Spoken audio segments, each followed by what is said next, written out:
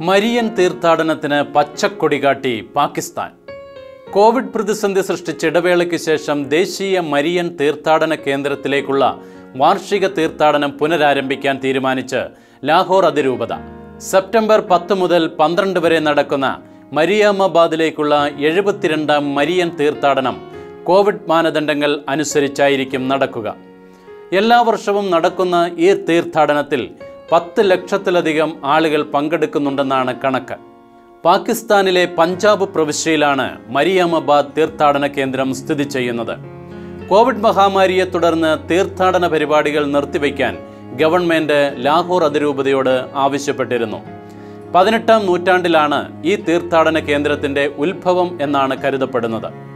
പുതുതായി ക്രൈസ്തവ മതം സ്വീകരിച്ചവർ അനുഭവിച്ചിരുന്ന ദാരിദ്ര്യവും പീഡനങ്ങളും കണ്ട് അവരെ പുനരുദ്ധരിക്കുന്നതിനായി ബിഷപ്പ് വാൻഡൻ ബോസ്ക് വാങ്ങിയതാണ് ഈ സ്ഥലം. ആയിരത്തി എണ്ണൂറ്റി തൊണ്ണൂറ്റെട്ടിൽ ഇവിടെ പരിശുദ്ധ അമ്മയുടെയും വിശുദ്ധ യൗസപിതാവിന്റെയും നാമധേയത്തിലുള്ള ദേവാലയങ്ങൾ ഉണ്ടായിരുന്നതായി ചരിത്രരേഖകൾ പറയുന്നു.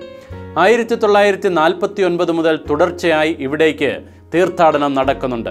മരിയാമബാദിന് ഉറുദുവിൽ പരിശുദ്ധ മാതാവിന്റെ നഗരം എന്നാണ് അർത്ഥം.